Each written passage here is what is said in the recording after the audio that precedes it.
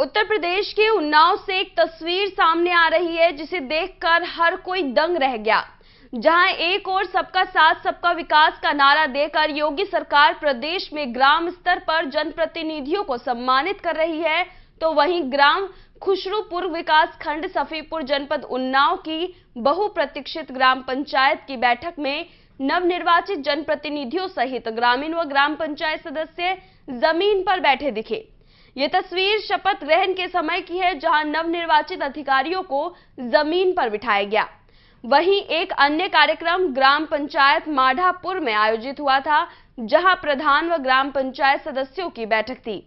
लेकिन वहाँ पर बीजेपी के क्षेत्रीय विधायक श्रीकांत कटियार उपस्थित थे।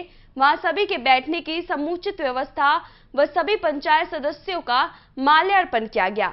लेकिन दूसरी तरफ़ ग्राम पंचायत खुशरूपुर में ग्राम पंचायत सदस्यों को इस तरह बिठाया गया जैसे स्कूल में बच्चों को चाट पट्टी पर बिठाया जाता है और मास्टर कुर्सी पर बैठता है।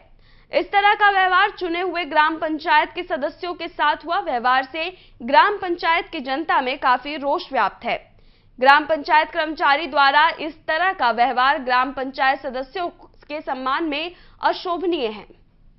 सौ फ़ीसदी प्लेसमेंट के साथ हम देंगे आपको मौका।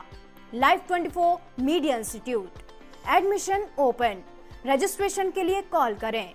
Nine five six zero four six four one seven zero nine five six zero four six four one seven zero